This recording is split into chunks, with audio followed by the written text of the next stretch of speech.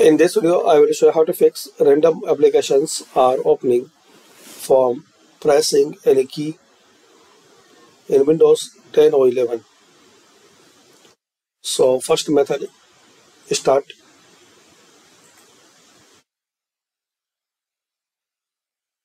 Accessibility.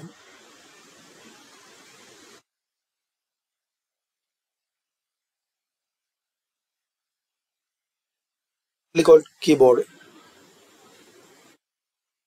Turn off sticky keys, turn off filter keys, and also turn off toggle keys.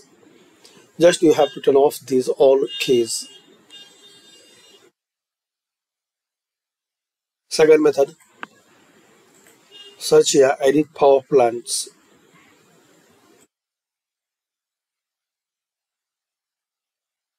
Click on power options.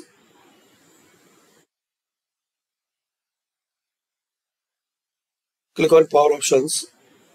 Here select choose what the power button does. Change settings that are currently unavailable. Turn on. So unselect turn on fast startup. Click on save changes. Third method, click on Start Settings. Troubleshoot. Other troubleshooters. And run troubleshooter on keyboard.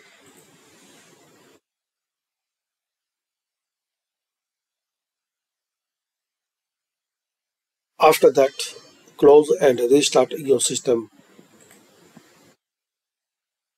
Thanks for watching and comment any method work for you or not.